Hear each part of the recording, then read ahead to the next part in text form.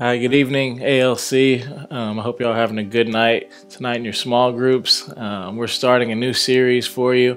I hope you've been enjoying our teaching series so far. We're starting our, devo- our teaching on what does a devotional life with Jesus look like. Um, so we're going to focus on a few things that um, will help us in our devotional life with Jesus and um, just having that intimate time with Him and growing um, with Him. So the first uh, teaching we'll be doing is focusing on the Word of God, focusing on God's Word. And so, the first concept I want to give you guys is just read the instructions. It's really simple. Um, just like anything else we have in life, sometimes we have to read the instructions. Uh, back when you were in grade school, you had to get a test or a project, and the first thing the teacher told you is read the instructions. Um, same concept here. Um, maybe when you baked a cake for the first time with no assistance, you had to take the box. It's like someone's birthday. You have to look at the box and read the instructions before you even get started. Same concept. Um, earlier this year, there was a storm here in Springfield, and at our home, uh, we have a bunch of big trees in the backyard, and uh, one of the limbs fell off the main tree in the backyard about 15, 20 feet, and you know it was there on the ground, and I thought, well, we got to get this cleaned up. Um, we have a rental home, but I figured, well, I can take care of it myself. So for the first time, I went and looked for a chainsaw so I could cut this thing up. Um, so I bought it, went to Lowe's, picked out the one I wanted, got an electric chainsaw, something that I could handle for the first time, and got it home. I'm like, I'm ready to go. Let's get this thing out the box. Let's cut this limb up so it's not just hanging over my whole lawn. And I open it up, and it's just a bunch of pieces. I mean, five, six pieces.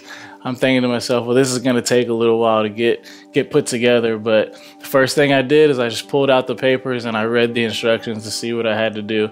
It's the same concept with focusing on God's word. We're simply looking at God's instructions for our life. I've heard the Bible um, called basic instructions before leaving earth. So B I B L E, basic instructions before leaving earth. And so that's what we're looking at when focusing on God's word. All right, and so the first uh, scripture we're going to look at is 2 Timothy 3 16 through 17 in the English Standard Version. And this, this scripture kind of shows us the importance of God's Word, what it's good for, what it uses, uh, what's its use in our life.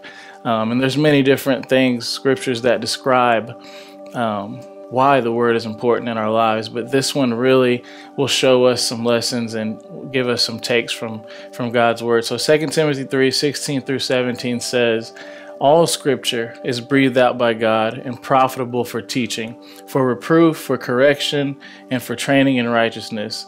And verse 17 says that the man of God may be complete, equipped for every good work. All right, so we're going to do, there's three points I want to show you from this scripture that will um, show us why it's important to be focused on God's word on a regular basis. Um, the first thing is God's word will teach us God's principles and priorities. Um, it's like I said in the scripture, it says God's word is profitable for teaching. And so God's word teaches us his principles and his priorities. So when we spend time focused on God's word, we are able to understand what's important to him and what should be important to us.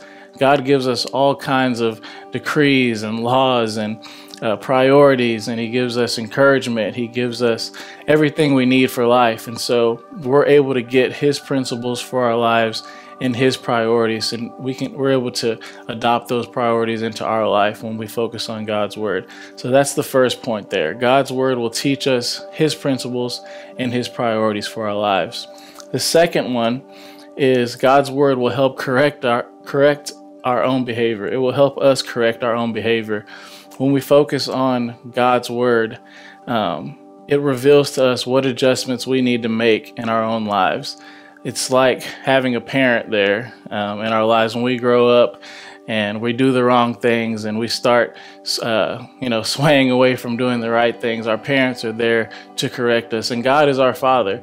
And so he gives us uh, these instructions. He gives us um, these laws to keep us in line in life. And he shows us how we can correct um, our mistakes, our behavior, uh, and how to walk in line with what He wants for us. Because if we follow His word and we follow um, His priorities, then we can be successful in life, and we can stay out of um, we can stay out of trouble. That's the main thing. We want to stay on a straight and narrow path, and God's word is able to correct our behavior, and we're able to just stay in line with where He wants us. All right. So God's word will help us correct our own behavior.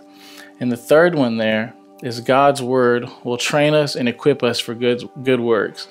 And again, Second Timothy says that the man of God may be complete, equipped for every good work. All right, so when we spend time focused on God's word, He trains us to do what we are called to do, and He equips us with gifts that empower us to do what we are called to do. Just like Jesus trained the disciples and empowered them, God's word gives us the same training and shows us how to use our gifts in our own lives. And so God has a purpose for us, He has a plan for us. And so when we focus on His Word, we're able to be trained and equipped. He's able to show us the gifts of the Spirit, He's able to um, just guide us in what we're supposed to do and empower us as well. And so that's the third thing there. We are able to be complete and equipped for every good work God has for us. And so that's exciting. The word is um, it's a training ground. It's it's a training manual for us. And so again, we just have to read the instructions and God shows us exactly what we need to do in our lives. I'm gonna give you one more scripture here at the end. Um, it's in the book of John, chapter 8, 31 through 32, and it's also English Standard Version. It says, So Jesus said to the Jews who had believed him, If you abide in my word, you are truly my disciples, and you will know the truth, and the truth will set you free. So Jesus tells us right there that if we believe in him, we, we need to abide in his word. And if we do, we are his disciples.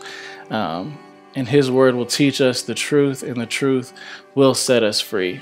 So, focusing on the Word is a win win for us. You know, Jesus, um, again, He showed us exactly what we need to do in our lives. And when we focus on His Word, we get um, the same training the disciples got. We get to see the same actions and the same miracles that Jesus did. And so that's able to be fed into our lives when we focus on the word. And, and God just wants us, again, to be successful in life. He wants us to um, follow the plan He has for our life. And it makes it so much easier when we focus on His word. And so that is the main um, point to all this. And to the, again, the Second Timothy, it empowers us, it, it teaches us. Um, it does, the word is truly um, the instructions for our lives and it gives us so much power to walk with, with Christ. And what we can what we can close with and what we can take from this, my challenge for you is um, just to focus on God's Word each day. Spend at least 15 minutes focusing on God's Word, reading the Scriptures, um, learning from, from what God has to say to you, um, praying about what you've read. Uh, find time to ask God to guide you and how to apply His principles in your life that's my challenge to you because um, we all go through things in life. Things can get tough. Life can get tough.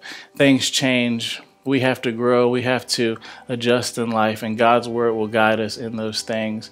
And of course, He gives people to help in that to support us. But if we have His priorities, we have His plans, we're able to to be successful in, in life and to just to be led by the Spirit because His word is Spirit. Um, so I just thank you guys for for listening tonight. Again, just encourage one another, your small groups, um, challenge each other each day, sending verses to each other in the group chat, um, just being accountable for one another, uh, and just encouraging, lifting each other up to focus on God's word. I hope you guys have a great conversation tonight. I pray that um, you have a great week and just be ready for our lesson next week and have a great night. God bless.